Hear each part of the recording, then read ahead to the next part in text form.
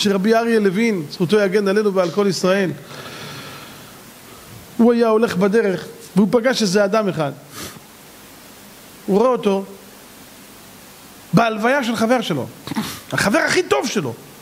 רואה אותו בהלוויה, בא, נמצא כמה דקות בהלוויה ורץ לחנות של משתלה. רואה אותו בפנים, הרב מסתכל עליו, רואה אותו בוחר עציץ, בוחר זה, לוקח את העציץ ובורח מהלוויה. הרב אומר, בוא'נה, איך הוא לא מתבייש? איך הוא לא מתבייש? החבר, יושב, החבר שלך נפטר, החבר הכי טוב שלך, יושב, אתה מחפש לי עציצים? מה אתה עושה? הרב שתק. הרב פוגש אותו למחרת, אומר לו, בוא'נה, צדיק, מה שלומך? יחי לוין, רבותיי, קודש קודשים. קודש קודשים, מביא לה לרעיון, אי אפשר להבין מי זה. מי זה היה רבי אריה לוין? רבם של האסירים קראו לו. הוא היה הולך לאסירים, נכנס לכלא, ויושב איתם ונותן להם עידוד, ומה לא. ופעמים רבותיי שהוא היה אומר שישחררו אותם לבריטים, שחררו את האסירים, שילכו הביתה שבת. לא הסכימו, פחדו שלא יחזרו, הוא הסכים, הוא ביקש מהם, אני יושב במקומם בכלא, הרב יושב בכלא, תנו להם ללכת הביתה, אני ערב, אם לא, אני נשאר פה. הבינו על מה אני מדבר איתכם? מביא, הוא היה קודש קודשים.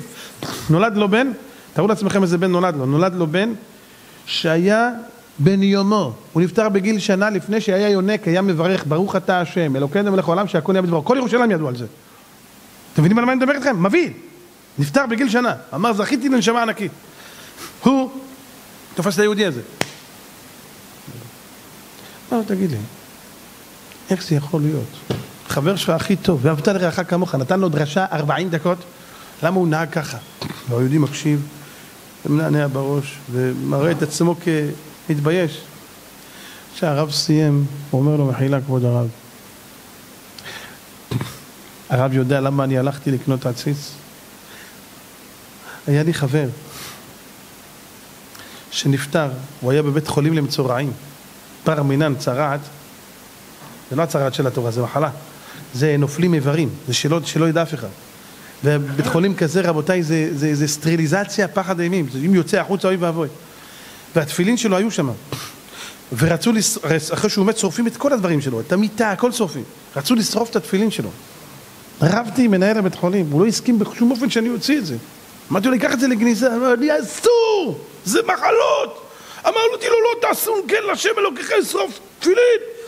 אמר לי, תקשיב טוב, זו ההצעה האחרונה שלי אליך. אתה אמרת אותו שרוצה לקבור אותם, אין לי בעיה. איך תוציא אותם? יש לך זמן עד מחר 12:00. אתה מגיע לפה עם עציץ, עם חול.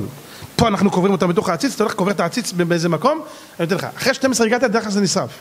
הרב, הייתי בהלוויה, אומר לו, עוד מעט 12, התפילין נשרפות. רצתי. קניתי עציץ ורצתי לשם והצלתי את התפילין. הרב, אריה לוין התבייש, הוא 40 דקות מוכיח אותו, בסוף כאילו הבן אדם יצא בסדר גמור. הרב עושה ככה, אוי, אוי, אוי, מה עשיתי? למה, למה לא אמרת לי בהתחלה שהוכחתי אותך? תגיד לי, הרב, סתם הוכחתי אותך. אומר לו, הרב, אני אעצור את הרב עד שאני זוכה לקבל תוכחה מהרב אריה לוין. זכות כזאת, אני אעצור את הרב. הרב יודע איזה דרשה הרב נתן לי פה? זה מסר לכל... אני אעצור. תודה, הרב, תודה. הרב נשק אותו על הראש שלו.